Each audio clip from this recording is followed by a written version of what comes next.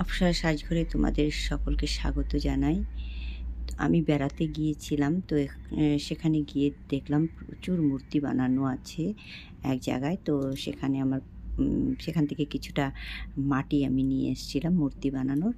তো সেই মাটিটা দিয়ে ভেবেছিলাম পুতুল বানাবো। তো মনে হলো যে না, গণেশের মূর্তি বানাই। তো বসে পড়লাম গণেশের মূর্তি বানাতে। তো পুরোটা কমপ্লিট করি, তোমরা দেখো। কেমন হয়েছে বলো?